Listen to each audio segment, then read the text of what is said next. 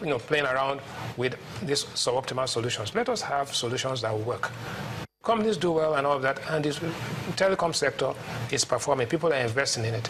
If we did the same things for petroleum refining, like just like the LNG, which is a good, then we'll begin to see solutions. And for now, we have to accept that because there's hoarding, one.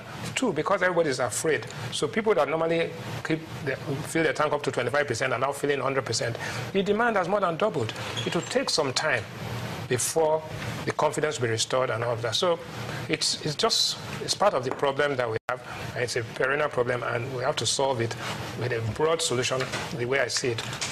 Sell off those refineries, encourage Dangote's referring to fast forward, right? And then, more than anything else, have a pricing mechanism that works.